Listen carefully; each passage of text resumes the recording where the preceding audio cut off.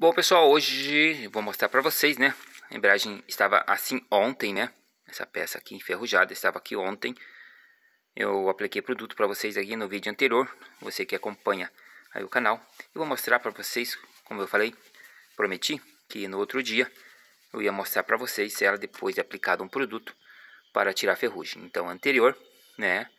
E vou mostrar para vocês. É, olha só, como eu falei, ela ia ficar branca e agora eu vou mostrar a diferença para vocês, antes e depois. É... Então isso aí, né? Olha só a diferença, ficou branca. O produto que eu apliquei aqui para tirar ferrugem. Olha só, tá, ela tava, ela tava assim preta, escura. Olha só como é que ficou. Aí a gente passa um óleo, um óleo para para poder, olha só.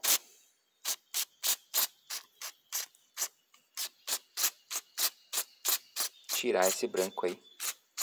É um produto galvanizante. É tipo galvanizante. Olha só. Eu creio que vou ter que passar mais uma vez ainda. Né? Tirar o restante. Mas olha só como é que ficou.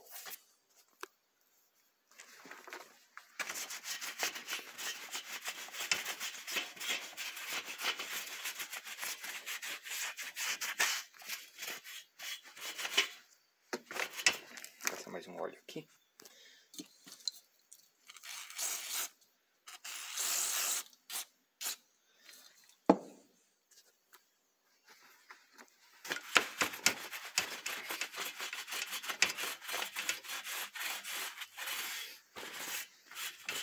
Aí tem um outro produto que é da mesma linha, né? Ele tira, tira, transforma isso aqui em tinta, né? Transforma isso aqui em tinta, fica preto. E esse aqui tira a ferrugem, da mesma linha, da mesma fabricação. É, eu vou virar aqui a peça.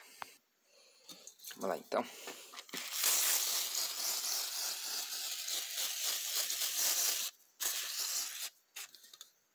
Olha só, eu vou aplicar mais uma vez esse produto para ver se dá uma aparência diferente, né, finalizar